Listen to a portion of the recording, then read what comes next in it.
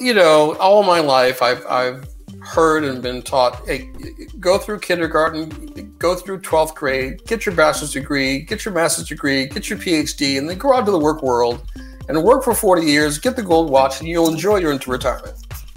There's there's the American dream, right?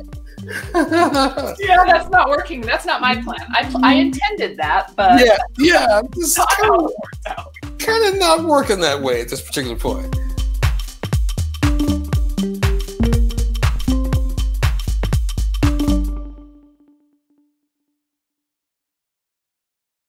Welcome. Thank you very much for joining us, everybody that's logging on.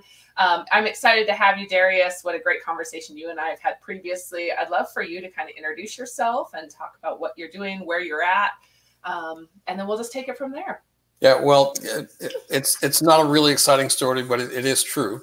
Um, I'm a native of San Francisco. Um, I fell into the wireless technology space about 35 years ago. I helped a guy named Craig McCaw build the first initial wireless infrastructure here uh, in California, uh, which was 1G compared to 5G, which is where we are now, ironically enough. Um, I fell in love with uh, angel seed venture capital private equity as a result of being in the heart of Silicon Valley. Uh, and as a result of that, you know, uh, five years ago, I was brave enough or silly enough uh, to dive into the cannabis space, head first, feet first, however you want to call it um, and uh, um, helped maybe four or five um, associates build cannabis funds from the ground up. But five years ago, walking into a VC's office or an investor's office and saying, "Hey, I'm here to talk about cannabis and I'm here to talk about investment capital," was not the conversation. Not the right. conversation. Right. So we have a mutual friend uh, that hooked us up and uh, said it might be logical for me to come talk to you. It's all good. Well, I love it. So tell me a little bit what your journey looked like in this. I know earlier going from the telecom or the, the dot com space to now the cannabis space. Right. What does that look like for you? Well, it was really strange because, you know, I walked into a neighborhood where I grew up uh, as a kid in a, a horrible area called East Oakland. And ironically enough, I looked across the freeway uh, and the place where Al Davis built the Coliseum uh, where he is now but left Oakland three times and is in Las Vegas, but it's not in Las Vegas because you can't play the stadium where you can't play. It's all wrong. Anyway, um, walked into a 75,000 square foot indoor grow and I went, oh my God, is this what they did with the Nabisco factory where my mom used to work? This is unreal, right? Yeah. And, and those guys have gone on to become one of the largest players in all of California. I won't mention their name. Um, and I said, wait a minute this is an industry now. I mean, people are doing this now, and so um, that's where I figured, you know, I'd start playing around with building investment funds from the ground up. And again, it has not been easy um, because we all know anybody who's been in this industry or the hemp industry knows it's about having access to capital and then figuring out that the compliance part is really tough. Finding this right seed is really tough. Planting it is really tough Getting it to grow to a certain st- stage is really tough, but that's only one tenth of the battle. Yeah. Right. Yeah. So, what would you say the biggest battles have been for people? You know, I, I hate to say it because we're still in this kind of confused scenario. Is, is it good for the feds? Is it good for the state? Is it good for the counties? Is it good for the city? Is it good for the soil? Is it good for the ozone? I mean, we're all asking these questions, and there's all yeah. these these political battles between going on between all these people. Um, and one of the notes I wrote you was, oh, Jesus Christ, um, biomass on Kush.com for hemp is five dollars a pound, and then in Illinois it's thirty five hundred dollars a pound for THC, where they did a billion dollars in 2020 in, in, in sales their first year, right? So it's it's it's a huge question mark about where you are, where you want to be, if you believe in this industry, if you believe in the science, and you think that it's going to work on a federal level here, on a state level here, on a county level here. Um, but around the world, this science is doing well. Let's just put it that way. Okay, yeah. so two questions before we jump into what you've seen outside of the US compared to now. Because since you and I have spoken, I've used actually your term a number of times in um, it's funny to me how the United States is still trying to figure out where to plant seeds or how to plant seeds, and other countries are, I mean, they're way beyond that, right? But with that being said, first, what about why do you feel like the cannabis industry should be treated like the mistakes in the dot com era? Um, you know, where do you compare them? I mean, because once I read this this morning, it, I immediately was like, oh, you're you're exactly right. I and, and, a lot of the same players were having the same conversations. Right, right. I I I, lo- I love to do things by you know learning from mistakes. I mean, come on. When we were kids, if mom said the oven was hot, what do we do? Right. We touch the oven, right? and, and, what did we discover? Ouch! It hurts, right? Yeah. And so, through from my dot com days, I learned that it's like the gold rush. And I live in the gold rush area in California. It's like the gold rush. When things are good, everybody flocks to a situation or an area and they think they're really excited. They want to get involved, but they really don't have a clue what it is. And they haven't done the homework to know what the exit strategy is going to be. I mean, where's the ROI? Where's the exit strategy? Right? Yeah. We're all excited. Great opportunity. But uh, the dot com thing taught me one thing. Um, first of all, it was an intangible. It was software. It wasn't anything you could touch, right? Um, and then secondly, uh, everybody was pouring their money into it. But then when they figured out that the labor could be done at one eighth the cost offshore, what happened? All the labor left and went to India, for God's sake, right? Um, so uh, same thing here. Um, somebody realized that it was a really profitable industry, went real slow, you know, five years ago. But I've known, known people in the mountains and Humboldt that have been doing this for 35 to 40 years on the black market. So is it really a big deal? Uh, don't know. Yeah. Well, and there's a lot of people that have been in it, even in the construction space or the textile space, that have been playing with these fibers and researching them in other countries for a long time. You know, right. this is something I really have a hard time with is a lot of our talent and knowledge is considered black market, right? And cross the crossing those over from one one line of business to the next, or bringing you to it, it's a different type of business, right? You went from not dare sharing anything or saving text messages you know, because you're afraid you're going to be raided to now it's out in the open and you're watching people really grow where those that have been in it that really hold the the trade secrets are not as much. Right. What does that look like? How do we balance that? And well, you know, all my life I've I've heard and been taught, hey, go through kindergarten, go through 12th grade, get your bachelor's degree, get your master's degree, get your PhD, and then go out to the work world and work for 40 years, get the gold watch, and you'll enjoy your into retirement. There's there's the American dream, right? yeah, that's not working. That's not my plan. I I intended that, but yeah, yeah, kind of, kind of not working that way at this particular point. So now we've got the gig economy, and most of the extractors that I met, they did not they do not have a bachelor's of science. Most of the great extractors that I met that are leaving the cannabis industry going into the hemp industry, attempting to move from 1,000 square foot extraction facilities to 500,000 square foot facilities did not go to college. They just really honed their experience from the ground up, literally, right? And so now, as it said in my email, in 2019, we had a quarter million of acres of hemp. That's a lot of biomass. It's a lot of biomass. What are you going to do with all that weight? That's a lot of stuff, right? So we discovered after throwing away a whole lot of that flower stem, right? Uh, we're going to have to get creative on what to do with it. And so um, I'm not going to say I don't believe in Harvard, Yale, Princeton, Wall right. Street. I'm not right. going to say that. Uh, we need we need those entities. Those things are very important to our economy. Um, but at the same time, there are a lot of people in this industry that come from the black market side that know more about this science than anybody anywhere that I've ever met. So um, we need to keep our, our, our minds open. Bingo. Right? Yeah.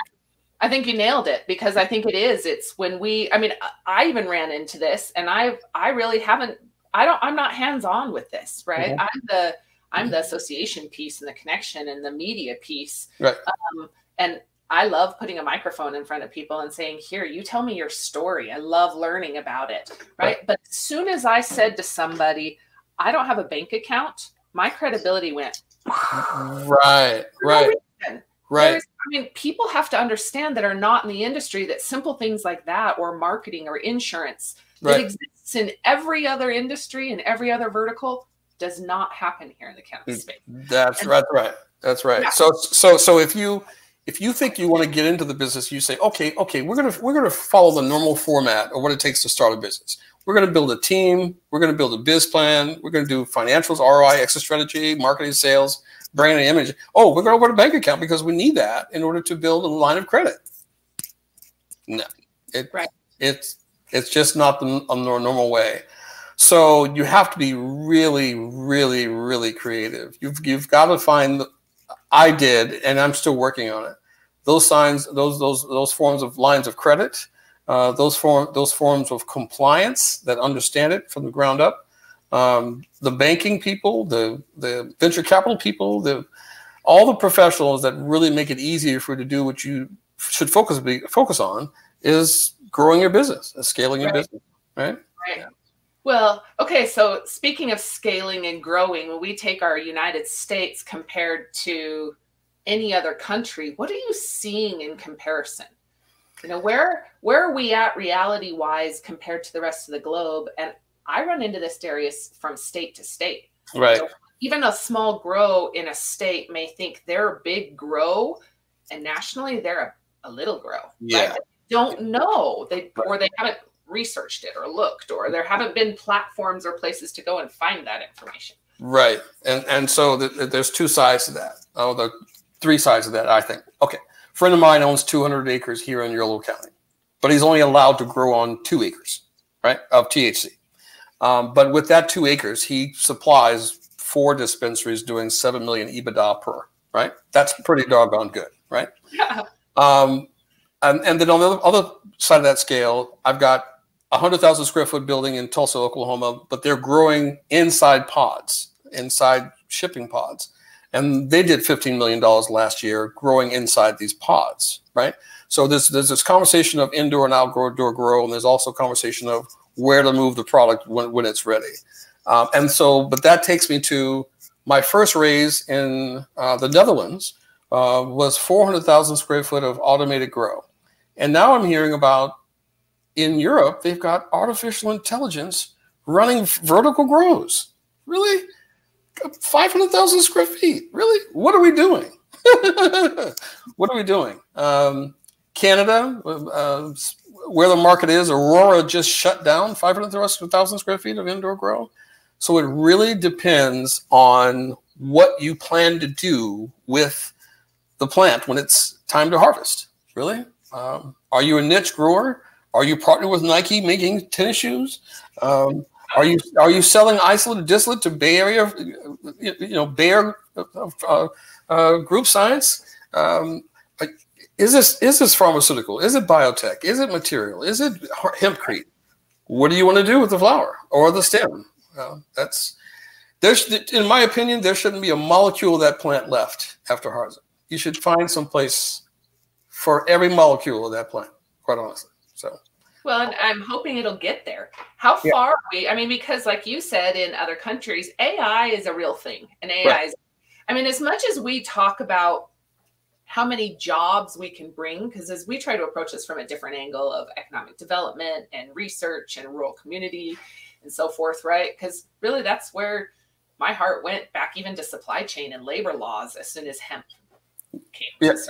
I mean, hemp is a solution for so much of this you know and then there's this reservation well we don't want ai because it doesn't bring jobs into the market. Right. However the jobs that are created from the product after processing far outweigh the number of jobs we can create in one facility. And the amount of uh, product or our time to process on a 24 7 scale right with scalability with ai mm-hmm. opens doors for us that we can I feel like now allows potentially would allow the U.S. to compete with other markets if we can hurry up and get bigger, better facilities. Well, uh, there, there are people in my life that were born before the television was invented, right? Um, I have people in my life that are still afraid to go to the ATM because they don't want to put their money in it or take it out of it. So Um, and I'm one of those people who carried, you know, a five pound walkie talkie and said, you talk through this thing, it works. I swear it's going to work. And so uh, society and technology are going to keep moving forward, right? We, we are going to have autonomous pizza delivery here very soon. We are, we're going to get package delivered by Amazon by drone mm-hmm. right now, right? Um, but guess who has to fix those machines inside the Amazon warehouse? Right, right. They're they're human beings, right? right. And so, yes, I know we come from a USDA thought process farming community here in America. I get it.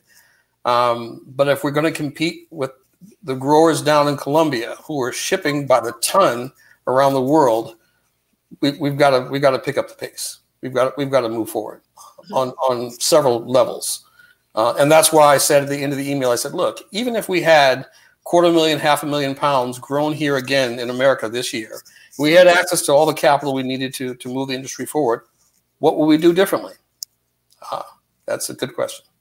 Well, what do you think? What would that look like? Or, or what do you suggest the change needs to be? Well, you know, just like the technology industry, where Asia and Europe were kicking our butt, and they still are kicking our butt on the technology side, there's no reason why California is the third largest economic or fifth largest economic power in the world. We go through three three trillion dollars GDP. We don't have a fast train. We don't have a speed train. Why not? Leaving Sacramento, going to LA, and getting there in half an hour. Come on. You just we've had fast trains in Europe for years. We've had four and five G in Asia and Europe for years. Why are we the last on the totem pole uh, to move forward with AgTech? Does it make any sense? Um, our our government and our innovators need to move forward and and uh, you know stop letting the banks process all the money and get some of the money to the people who need it. That's my opinion. Okay, so what do you think the government needs or the USDA needs in support to bridge that gap back back to our farmers or our consumers? You know, we talk a lot about well, what do we do for the government or what are we going to change to to accommodate them? What is it you think that they need on their side to really grow this and be sustainable? Well, I, again, as a native of San Francisco and knowing all the people from the Willie Browns to the Gavin Newsoms to the Dianne Feinsteins to the Barbara Boxers, right. all came from San Francisco and now in federal government. And some of them are even invested in the cannabis space. Um, the, I hate to say it because I don't like to talk about politics, religion. We got to get involved. We've got to get involved. We've got to get our hands and feet dirty and get up there to the state level uh, with the people that make those decisions. Sure. Uh, the, the, state of Gal- the state of Virginia is trying to figure it out right now. For the first time in their lives, their governor is going, okay, yes, let's grow, right? But he has no clue about what's been happening in the other states that were successful or that were failures, right? Uh, the folks that have been doing it need to talk to the people that are trying to do it and let them know these are the pros and the cons, and this is what you should do. Period. So that's exactly what I want to be, right? I want to be that. Let's put a microphone in front of them and find out what works and be that go to platform where. Um, you know, we can come back and say, hey, this worked for us and this didn't work. And here's where we're struggling. And here's a group of people that can get together and solve problems and have real discussions. Right. yeah. That's right. what I'm after. I'm, yeah. I'm excited about it. Uh, so yeah do you mind giving a little bit of history or background? Um, I know you mentioned at the bottom of your email George Washington, and a lot of times when we talk about this, you know, people think, well, this is a brand new product and it's scary, and it's not. All the way back to George Washington, right? Right. right. What are some of your favorite like aha moments or key points people should listen to? So it was so funny this morning when I put that into Google. It came back and said uh, Wikipedia said to be in verbal out of out of Google said George Washington did not mess with cannabis. He just grew hemp. ah, so funny. But yeah, it, it's it's somewhat of a joke because 5,000 years before George Washington got here, people were using cannabis for medicinal reasons. So, um, yeah, and, and, and, then, and then it moves to, in our history, it moves to uh, the laws that were made in 1937, you know, the, the Marijuana Act. Uh, and then uh, the illustrious uh, Richard Milhous Nixon in the 70s did the uh, uh, the Controlled Substance Act uh, with schedule making cannabis Schedule One. and then I find that the, the real irony now is the private prisons are traded publicly on, on, on the NASDAQ. You can go buy shares now, but we can also buy shares in public cannabis traded companies as well at the same time. It is the, um, the biggest and funniest and most amusing irony I've ever seen in my life. Uh, and the funny thing is, is the industry going to stop at this point? Do you think so? 2021 is it for cannabis and, and hemp. What do you think? No, we're not stopping. Yeah. Not even kind of. In fact, I think we've the pandemic gave us a leg hold on the market. Yeah. I mean, really, I said this for a while. As much work as as people could possibly get done right. while government was shut down, put the mm-hmm. industry ahead of the government. That's um, right. And maybe I shouldn't say that out loud, but I mean, the more traction we have and the less focus that was given to regulations, huh? the more the industry had an opportunity to regulate itself and fix some of its own issues. And right. Right. What, what about standardization? You know, there's a lot of conversation about need for standardization within the industry and the industry regulating itself versus, um, you know, the government and or ISO or ASTM setting some of those regulations and standards. What's your opinion? Well, you know, again, San Francisco is the the ground bed for biotech, biopharma, stem cell, all that stuff, right? And so when C- people say CGMP, uh, kind of USDA regulated or organic, uh, mm-hmm. I laugh um, because Bayer Crop Science has been here for years with 70 acres growing uh, doing research. But here's the good news, or my good news, and a lot of people are not going to want to hear it, but it's the truth. Uh, the Biden administration coming in, Kamala Harris coming from San Francisco, and I kind of know, you know, what how these guys think and what what their plans are. I've I've got high hopes for the future. I've I've got I feel good about the next four years um, because again, before the five years I decided to get into it, I, I grew up since the '60s in San Francisco. What do you think I've seen? Right, right. Huh? What do you What do you think right. I've seen? Well, it's it's been around. Right. right. It's not, right. it hasn't been so faux pas. Being in Utah, it's the totally opposite. Right, right, right. We run very different charges when it comes to where we stand as far as states on this. Right. Well, well, listen, Colorado started it all, right? mm-hmm. Denver, Colorado started it all, right? Uh, as far as telling the feds, hey, you guys, what you're thinking, what you're doing is ridiculous. It just doesn't make any sense anymore. And so, you know, come into the 20th century, come into, come into the light. Uh, and and with all the things happening with our taxes and and the cities and the counties and the states needing additional revenue, what, what's what's more obvious? I mean, it, it's it's not killing anybody. As a matter of fact, it's healing some people for God's sake. So, you know, you know, Oklahoma has done a really good job, Darius, at sharing their revenue that's being made from the cannabis and hemp industry and relating it back to very real topics like teacher salaries, right. hospitals, right. you know, beds, homeless care, uh, things that really hit people that are you know are on the other side of the bridge. But i love i love watching that. And i love talking about bridging that gap. In your email this morning you mentioned that you know there's a number of different verticals or avenues that will be directly affected or impacted by hemp like covid. What are some of give me some examples of how those two are related well you know again the, the folks in the industry know what cannabinoids are they know what terpenes are they know this as again it's kind of 5000 year history. Um, and you know my my dad uh, battled diabetes for 35 or 40 years. Uh, so I got to I got to witness the um, three open heart surgeries, two amputated legs, failed kidneys, failed liver, glaucoma, blindness, all that stuff from one singular disease. And what people don't seem to realize or grasp at this particular point, uh, I think hemp and cannabis, and you'll see here very shortly, beyond GW, GW Pharmaceuticals, who got the FDA approval for their medication, um, you, are going to see a lot more research done here a lot more research. I mean, billions of dollars putting into research here, and you're gonna it's gonna come out eventually, not right now, but it's gonna come out eventually. Um, that respiratory diseases, car- cardiology, cardiology diseases, uh, neuro- neuroscience diseases are going to be battled from the very sciences that come from the cannabinoids uh, and the terpenes that come from this plant. Period. Um, well, look at look at this, and I know this because I was involved in some transactions related to COVID around yeah. the flower, right? right?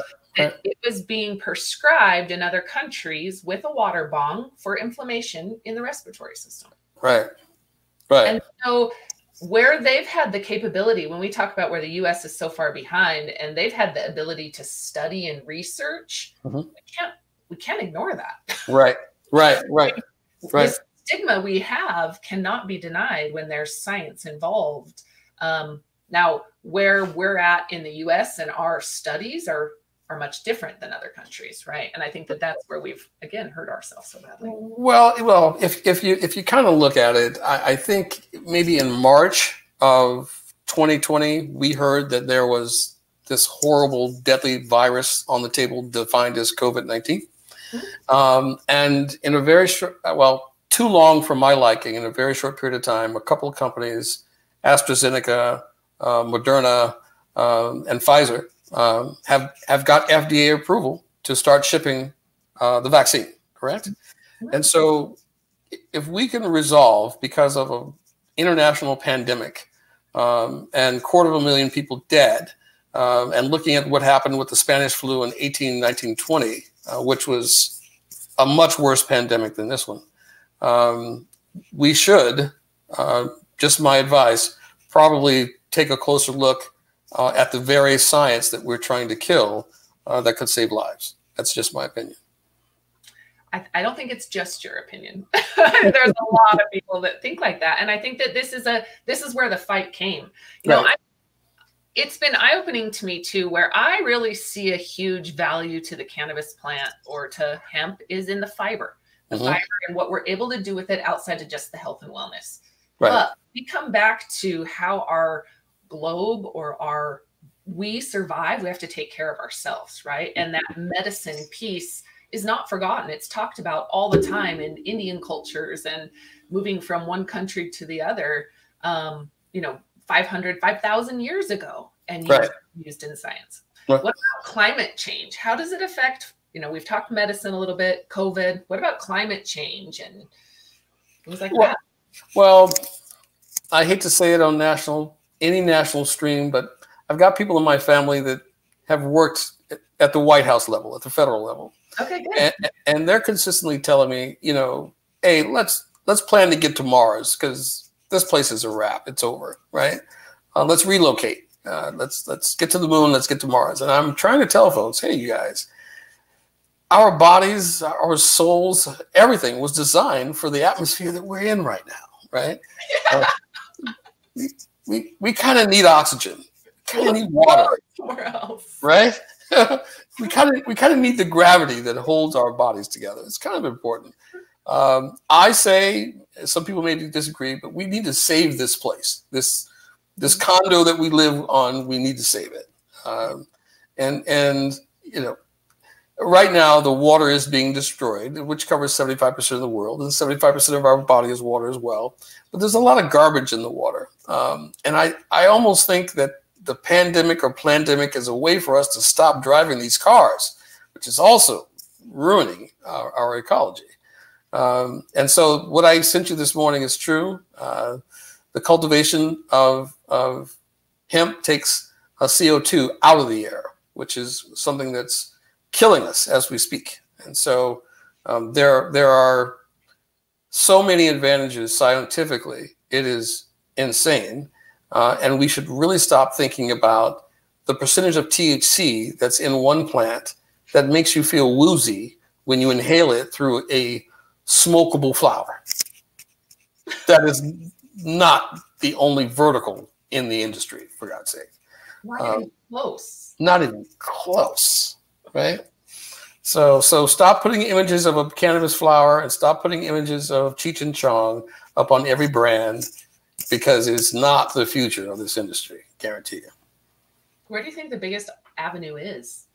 I mean, where do you think maybe like what is because I think that proteins and sugars are up there, and we're yeah. not starting to talk about those hardly. Um, but I am really I'm curious. Where do you see the biggest gold rush from them? I, I think I think you said it earlier. Um, it, it is the industry that's going to re-stimulate this economy. I mean, we've we've got a few issues right now. I mean, you know the, the guys that, that are you know making a million dollars or two million dollars a year as CEOs, they, these guys are at home doing Zoom just like I'm doing with you right now. I mean, the, the boardroom is dead. I mean, Google has announced, hey, you guys, if you want to stay home and do business, stay home and do business, right? Yeah. So, as one of the industries, as you mentioned, that survived, but not only just survived, but is growing exponentially as a result of COVID, cannabis is one. I'm not yeah. going to say it's it, but it's definitely one, right? Um, and I think this is the swinging moment that says, hey, guess what? Cannabis is a science, it's an entity, it's an industry that's not going anywhere. It's here. Uh, and it's here it's to stay. Time for innovation. I mean, yeah. we opened the doors for innovation. And I kind of feel bad sometimes when people say, oh, Are you getting by? Are you doing okay? I don't know very many people that are making millions yet in hemp. Right. However, right. Right. I'm busy and I love having the conversation and we're moving the needle and putting the supply chain together because we have an opportunity now. Yeah. So we crawl in a hole and really we'll drown, bury our dig our own holes, or we have an opportunity to make massive change. And I, I again, I go back to my passion or mm-hmm. what I became passionate about was mm-hmm. not even brought to light until I started looking into hemp. Right. labor laws, the relation yep. labor laws to yep. textiles is, you know, and, and during the pandemic, we had this big human trafficking blow up, you know, and what's happening there. And how can you not relate that to your $1 t shirt? Well, I, I got I, I just remembered as you were saying that I had a friend of mine in Hillsboro. He um, he was a mechanical engineer at UC Davis, and he could not figure out how to get his fancy Porsches from Europe here without going through all the EPA DOT stuff and and losing the profit on the car as a result of doing so. And so I just thought about it. He had the cars disassembled over there, shipped them over here in parts, and put them back together again here really creative, right? Yeah. And so a friend of mine in Las Vegas has the same issue, which means he owns hemp farms across the United States. He's friends with most of the hemp farmers across the United States. And they've been figuring out what do we do with all this biomass? So he's currently focused on uh, turning it to distillate and isolate and, mm-hmm. and selling it on the open market uh, by the kilo, of course, right? Mm-hmm. Um, but there's, there, there's only one challenge. Um, and the challenge is, is that you just have to be creative – uh, in your thinking. You have to be really creative in your thinking um, about what to do with your with your farm, um, um, and with and with you know uh, the, the output from your farm as well. It's it's not just it's not just distillate and isolate. Uh, there's a lot of there's a lot of things that you can do um, and I think you said it earlier, you know, understanding what what is it you're trying to produce? What product are you or market are you trying to feed into with your crop before right. you plant it? Right. right. That makes or where you plant it or how much of it you plant. Because like you right. said, there's, you know, thousands and thousands, hundreds and thousands of buy, uh, you know, acres of CBD flower, and right. the market just isn't there anymore like it is for fiber and some of these others. Right. Right. Yeah. Um, you know, the, again, the the the alternatives are are huge, uh, absolutely huge, and so um, you know, sky's the limit. Uh, we are we are in uh, 20, 20, 2021 at this point, and uh, you know, the the industry's come a long way in the last five years for me, but ten years as as as a, a nation or as a whole. Um, and I've I've got again, still really good feelings about what's going to be happening here uh, with the new administration coming in. And with, uh, like I said, what I see going on in Canada, what I see going on in Australia, what I see going on in Latin America, uh, and what I'm dealing with in, in, in, Africa at this particular point. And so um, there's no reason why every other country in the world is moving so rapidly in regard to this, this science and, and this, this uh, inventory. And, and we're, we're being like held back by our own government. It just doesn't make any sense to me. Do you think that there will be change now that the USDA is putting money and the government is starting to put grants out? I mean, because really, I think there has to be public private partnerships available right, right now in order right. to grow this. Right. Right. Do you think we're going to see some big growth, uh, not only in the R and D side, but the manufacturing, processing, right. bringing back to the U.S. Right. Yeah, and and so um, again, the the um, manufacturing facilities that that that I've seen across you know the United States um, are, have been trying to handle or trying to uh, uh, make partnerships on the tolling side uh, with with with the extractors. But the only issue is there's not enough extractors to handle that kind of biomass, uh, and they're not willing to uh, and they're not willing to make um, uh, or handle the, the kind of kind of biomass that's that's coming through coming from the growers themselves. And so, um, you know, yeah, the the situation, like I said before, I think it's time to focus on more more niche industries um, uh, that uh, uh, that focus on specific areas of, of need that's out there uh, that make absolute sense uh, for the future of the industry. Because, you know, again, um, coming into the industry early and trying to do, you know, a, a, thousand acres of grow like a friend of mine did in Montana. Um, and he did it at the wrong time of the of season. And guess what? They froze before they got a chance to be harvested, right? Mm-hmm. Um, and so you have to understand everything about the industry before you choose the strain. Why are you choosing that strain? Before you plant it. Uh, and whether or not, what kind of grow source are you using? Is it indoor? Is it outdoor? Is it hydro? Is it is it clay? And, and you know, all those things have to be considered uh, for you to think that you're going to be successful as far as ROI in the industry. You got to think about think the, the whole gambit, the whole season. Uh, oh, and and and the atmosphere. Where are you? Are you in Humboldt County? Are you next to the ocean? How high is the elevation? How low? How much humidity? What time of the year? Right? Because Humboldt is not like Nebraska. Nebraska is not like Kentucky.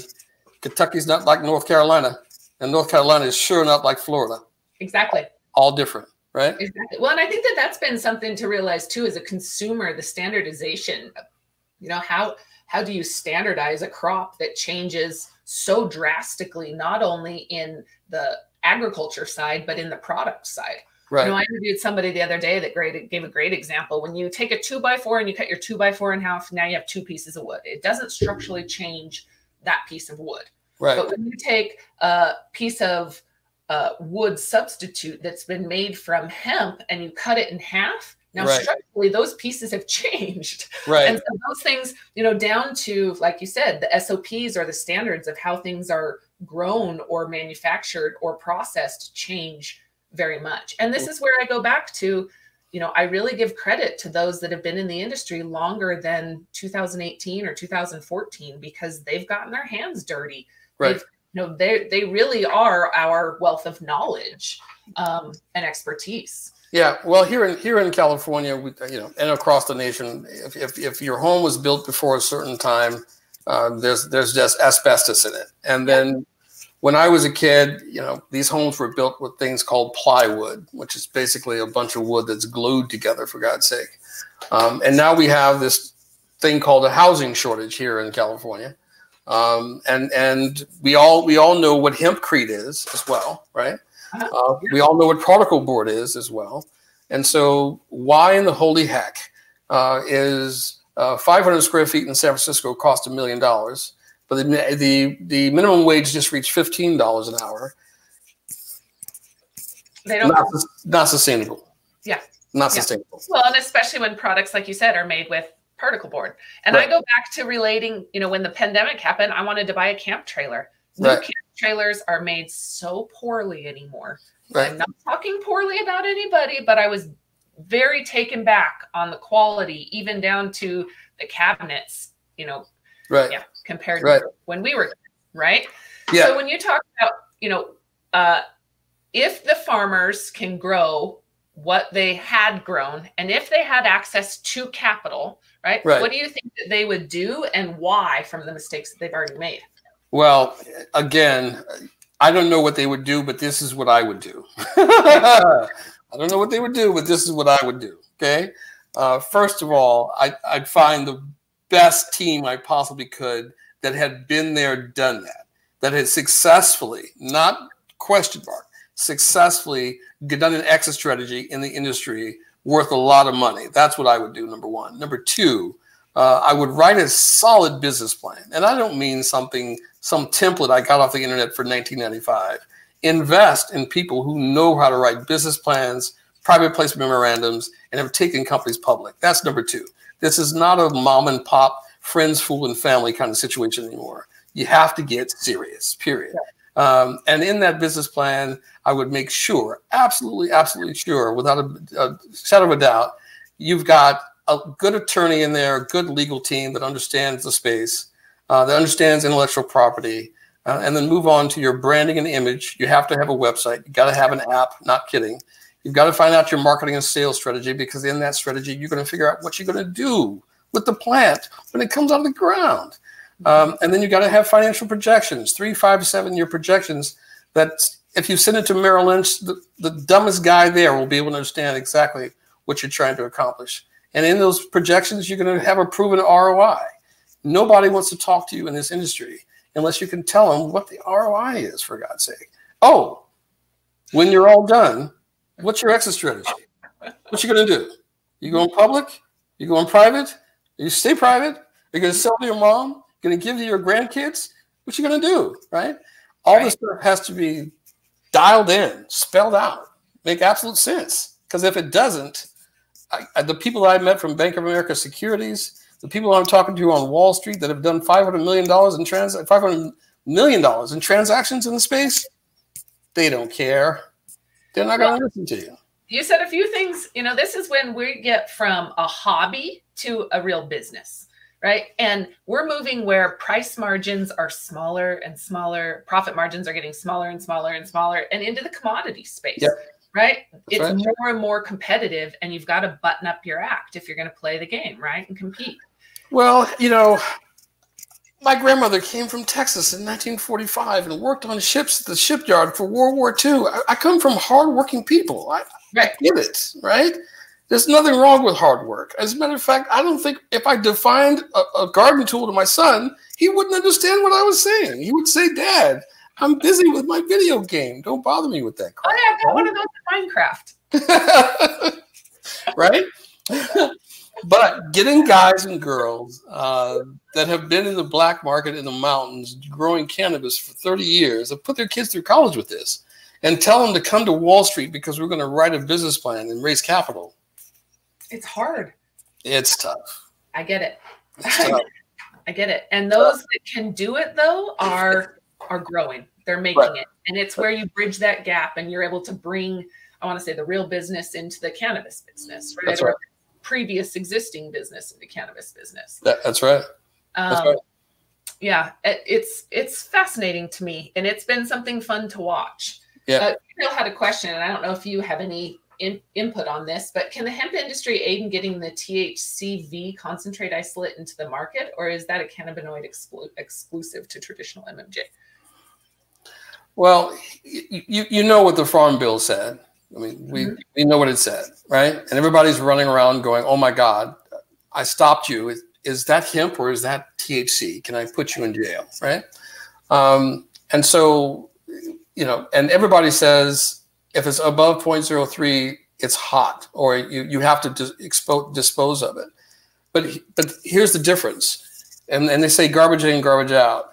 Um, so you cannot say you had something tested on the flower level, go through an extraction process. We don't know which extraction process you used. And then at the end, when the crude comes out, you have to test it again because it's going to be totally different than when it went in as a flower, correct?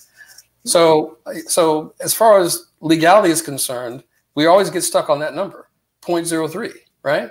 So we don't care if it if you don't get caught at 0.03 before it goes in, and then you don't get caught at 0.03 as it comes out. And but staying compliant, I think, would be the number one issue, right? Because you you don't want to get in trouble. That that's that's what I would say.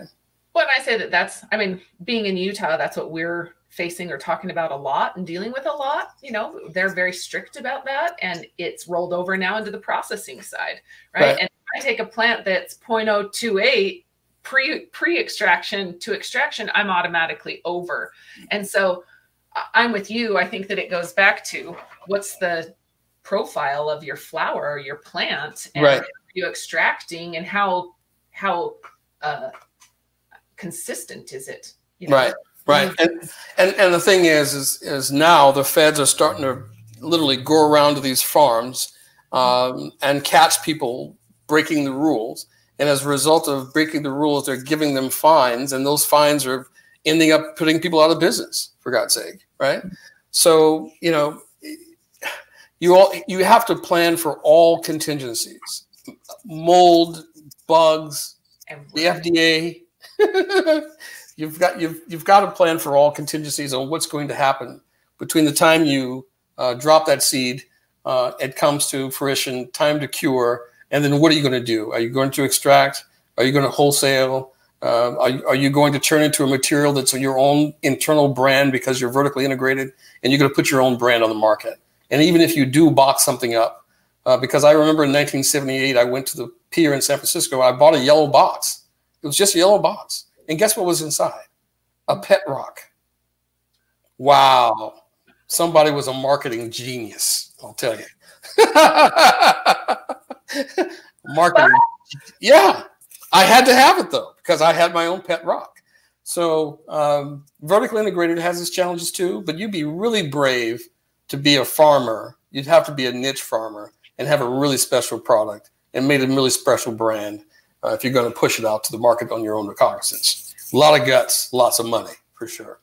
Well, and again, that's that boutique.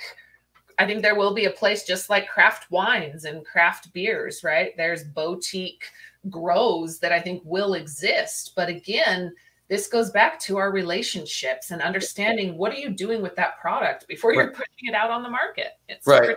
Yeah. So until look at Canada. I mean, Canada had the big guys, Aurora, up there, just oh my mm-hmm. God, it's federally legal. We're going to take over the world, kind of thing. But they just shut down a 500,000 square foot grow up there. So we finally realized, including Oregon, if you put too much product out in the market, what's it going to do to the value of the product? It's going right. to shoot it down, right? But the boutique growers up there in Canada, the niche growers up in Canada, are doing very well because they decided to focus on a specific corner of the industry they made it. They, they're the best at what they do, and people love their brands. Period. Yeah. Right? And um, I think um, there's a place for both of those. Hmm? Right? But there is. We talk when we talk big opportunities. You know, we talked about proteins and sugars, and what about batteries and graphene? What are you seeing in the U.S.? Are people? I mean, are you seeing the use of well, all I can say is, oh my God, oh my God, oh my God, oh my God, oh my God, oh my God. Because um, again, I'm from the wireless industry. And again, what's the biggest problem we have with smartphones and laptops? Yeah, my battery dies. Ask my friends. Power, right? And, and, what are we going to do with 6 billion devices around the world running 5G? What's going to be the problem? Right. Power, right? Power. so uh, Biden has already, you know, reached out to UC Berkeley and picked a power girl from here and he's going to be focused on energy, energy, energy, energy. And what is energy? It is power. yeah. So if anybody can perfect that for real, I mean, for real, for real, that's that's huge. That is absolutely huge. Well, and it's what what's not being talked about, right? Is the yeah. battery, the use. Everybody again now is starting to talk about the textiles and the clothes and the construction material. But when somebody says uh, what can be made out of hemp? My right. response was look around. Anything you see, for the most part, is made out of hemp, and that's no exact or can be made out of hemp, and it's no exaggeration. Yes, and, and, and li- literally, I mean, kids. I mean, think about it. Nike just Nike just said they've got hemp tennis shoes. It's not a joke. Um, uh, there are car there are cars. Some people don't know that Ford's first car was not gas; it was an electric car. Number one. Number two. Um, the tires that are made on a car, the food that's fed to your cattle, the um, there's even a car out now where the car is made of hemp, the engine's made of hemp, and guess what else? The fuel comes from hemp. So um, any industry you could think of that that drove America's economy from the beginning, uh, from petroleum to tobacco, um, are things that are related to hemp, the hemp plant for sure. You can smoke it and you can drive it. There you go. The newspaper, the right. all of our articles, everything, right? Right.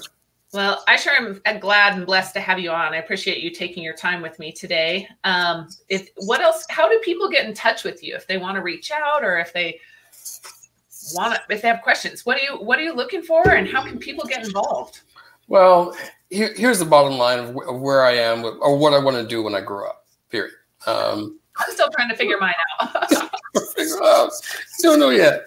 But for the last 30 years, like I said, I fell in love with Angel Seed Venture Capital in innovations and entrepreneurs. I just love it. I just love it. Um, and in the last five years, it's been cannabis focus, which people told me five years ago, don't do it, don't do it. Oh my God, it's a mistake. Now it's five years later. I don't think it was a mistake.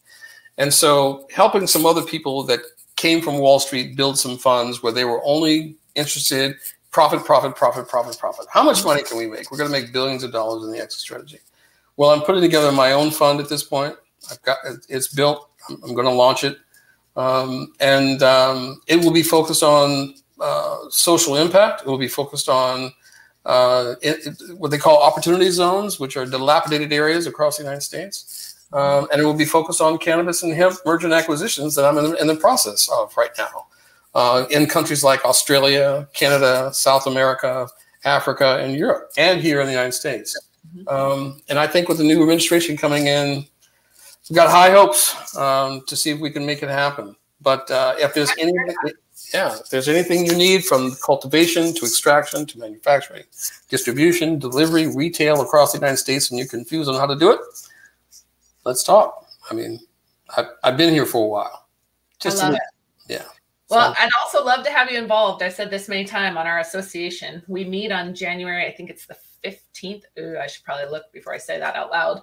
Um, but we do a monthly meeting. It's an awesome opportunity to get to know people, to really build relationships and connections. Mm-hmm. we have committee groups that are our how to accomplish some of these. And each committee is based on, they, they meet depending on their tasks or projects. Yep. Working on from construction, textile, education, safety, SOPs, um, things like that. And so I'd love to have you involved. And I'd really love to invite any of your prospects or clients as well um, my goal again was to build a platform where we can connect and build relationships and yep. um, highlight those that are doing it right. So thank you very much for joining me and participating. I'm excited.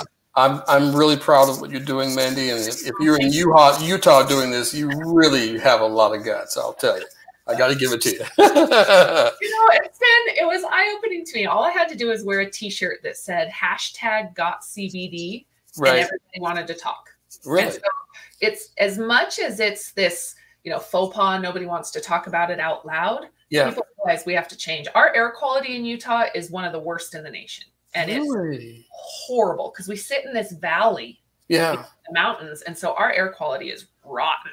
Wow. And rural rural farmers that really we could benefit from it. Anyways, so yeah. And I'm actually from Wyoming. So like the Montana, Wyoming, Utah yeah. area yeah. is where I'm passionate about. Yeah. Well, I drove through Wyoming coming back from Illinois, and boy, it was the most one of the most beautiful air quality states I've ever been through in my life. But it was just a ten minute drive through, but it was air quality. Yeah. as long as you don't hit it during the winter when all the semis are blown over on the road. And- yes. Well, think about it. Chicago, Illinois. If you don't want to talk about winters and dirty trucks, oh my God, it's all good. Thanks again, Mandi. Thank you, Darius. I appreciate you. We'll be in touch. Thank you. Cheers. Bye.